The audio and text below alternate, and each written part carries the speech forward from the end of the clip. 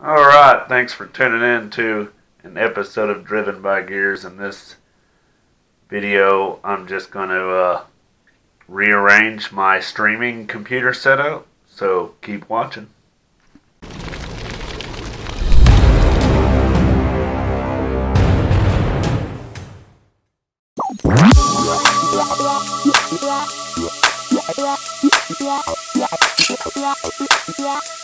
Yeah.